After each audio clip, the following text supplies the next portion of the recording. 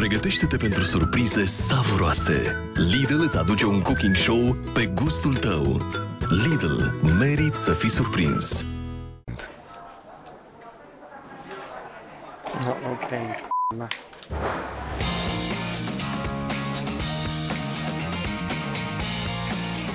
Mă numesc Walter Condello, am 17 ani și sunt fericit. A fost visul meu cel mai mare, adică să ajung la șef la cuțite și chiar sunt foarte emoționat. Astăzi vei găti tavetele bolognese cu paste făcute tot de mine, sosul făcut de mine și eu zic că nu e greu ceea ce fac pentru că dacă îți place să faci un lucru, îl faci cu cel mai mare drag și nu o să-ți fie greu să faci orice. Dacă aș câștiga premiul cel mai mare, o ajut pe maica mea să își deschidă ea ceva. Maica mea e cel mai important lucru pentru mine, tot timpul a fost alături de mine, m-a susținut și acum e cu mine, spectatorul meu de astăzi și sper să fac fericit. Așa stresat nu l-am văzut pe Walter niciodată. Și a fost și rău.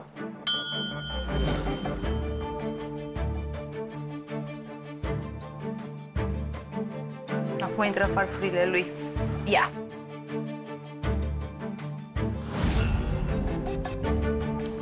Hai, desert! Hai desert! Hai, desert! Hai Oi! desert! Macaroane! Mamă, ce miroase a Busoare, busoare! argintii, macaroane! Zor de zi. Taliatele făcute aici. El a făcut aici? Și pare bolonieze, pare ragu. Par, par, par. Nu e ragu. Da, deci n-are sare după ce se aude. Nu, că vreau să gust ce a făcut concurentul, nu ce vrea să mănânc. Nu cred că sunt taliatele, că sunt altceva. că mai scurt așa. Sunt taliatele, să știi. Da? Da. Și ragu ăsta, n-ai cum să-l scoți niciodată într-o oră. Să fiarbă sosul de roșii, ca lumea să scadă. Și a făcut la rapid, e mai complicat să iasă bine de tot. Când îl vede cât e de mic. Da, din păcate ei jurizează înainte să cunoască concurentul. Toate edițiile lor le-au urmărit.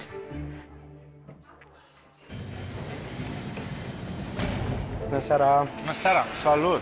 mă numesc Walter Condello, Și vii de unde din Italia? din Reggio Calabria, din sud. De 2 ani jumate sunt în România și Mă, tai am româncă. trăit 14 ani în Italia. Nu, am rămas singur eu cu maica mea și ambii frații mei au venit în România și am luat decizia asta de a veni și noi. Și ești român? Uh, Maica mea e româncă, taică m-a fost italian, că a murit. A, am înțeles, nu pare rău. Și tu câți ani aveai? Uh, 11 ani. Am căzut într-un fel de depresie și am pus foarte multe chile pe mine. Jucam fotbal și mi-a rupt și ambele ligamente și a fost knockout total. Am ajuns la 107 kg și Oh, oh. Cum era viața ta la 107 kg? Că și eu am fost mare, mare. era foarte grea. Am găsit o cale de fericire, așa să zicem. Deci eu eram fericit că mâncam, dar în același timp nu mai puteam să alerg, să fac ceea ce îmi plăcea să fac și mi-era foarte greu și nu, am decis să slăbesc Păi și cum ai reușit să slăbești? Mi-am luat două gantere și niște bande pentru cardio. Am început să mănânc foarte sănătos. Am eliminat pe timp de șase luni carbohidrate și am reușit. A, deci acasă singurel? Da, De, bravo! Bravo, Felicitări! omule! am avut 107 kg, am ajuns până la 64 și acum... Oh, bravo! 6 luni, 30 de kilograme. 40. Cam așa, 40 aproape. 40. Foarte bine. Bravo, mă! Sunt o persoană foarte ambițioasă, am reușit și a fost o mare fericire. De ce șef la cuțite? Ca să-mi împlinesc visul meu, sincer să fiu. Eu de când sunt mic, încă mi-aduc aminte că aveam 7-8 ani și m-am tot uitat la programe de astea de bucătărie. Tot de la 11-12 ani gătesc acasă, găteam în Italia înainte să vină maica mea acasă, tot timpul o așteptam cu o masă caldă, până când la vârstă de 15 ani m-am înscris la o școală profesională în Cluj-Napoca. M-a ambiționat fratele meu ca să ajung la o școală de bucătar și am reușit să ajung să lucrez cu el. Eu lucrez pe post de pizzar. Ah, pizzaiolo! Fratele meu e asociat la, la pizzeria aceasta unde lucrez și eu și lucrăm col la col și zâmbim toată, toată ziua și e unul dintre cele mai mari exemple pe care puteam să iau în viața mea. Când i-am zis că vin la șef la cuțit, a fost foarte, foarte fericit. Azi dimineața a fost prima persoană care m-a sunat când m-am trezit și am fost foarte fericit când am auzit vocea lui și no, că mi-a să ajung cât mai departe. E visul meu să devin un bucătar și să fiu tot timpul fericit. Auzi, da, de un bucătar faimos, așa, de la televizor, ai auzit? Gordon Ramsay. Și îți place de el? Da, mie îmi plac persoane care pun suflet în ceea ce fac. Pentru Ce că zice dacă Gordon Ramsay ar gusta din mâncarea ta acum? Ce Hmm. zice? ar însemna ceva foarte mare pentru mine. Ia stai așa. Of, Dumnezeule mare. Nu cred. Hai, Gordon. Nu You can try anyone you You like. You can taste. Wow.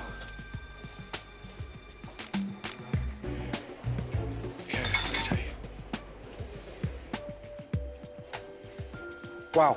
Um, um, no seasoning. Any seasoning?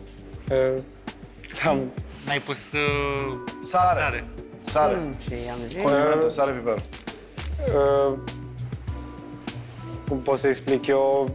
Zine nu. Zine nu.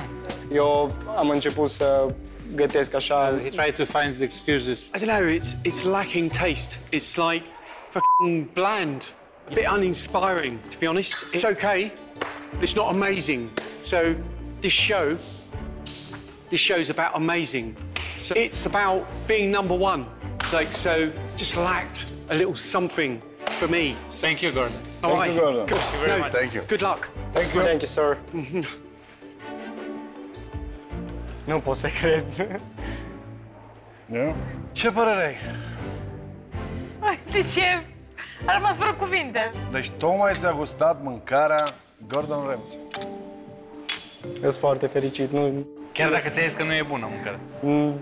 nu, eu am pus suflet. Nu, nu pot să zic. Mai să pui sare, nu suflet.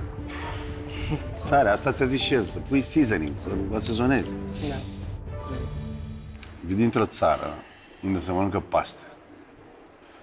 Ai trăit cu ele, corect? Unde întorceai capul în Italia, cineva făcea paste.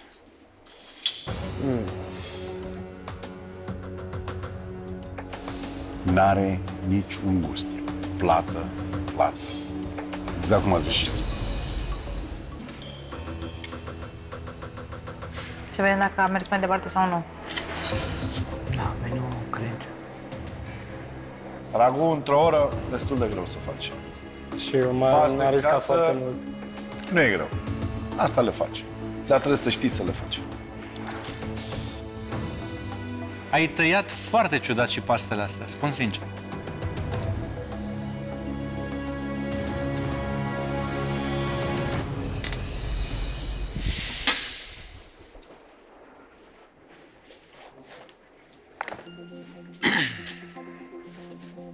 Ai trecut mai departe.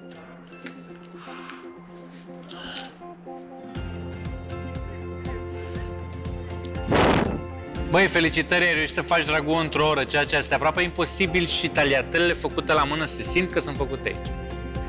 N-a fost perfect, dar ești talentat. Se simte că mâncarea asta ta are un pic de suflet. Felicitări! Mulțumim frumos. I-a plăcut ceea ce am făcut și pot să zic că visul meu e împlinit.